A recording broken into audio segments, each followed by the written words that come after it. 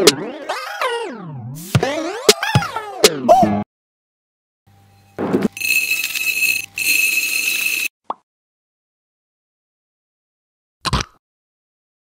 the gym, achieve failure. In the gym, achieve failure. When you're uncomfortable is when you grow. When you're in the gym and it, it hurts and you don't feel strong, that's when you grow. Ciao a tutti boys, ben ritrovati nel mio studio.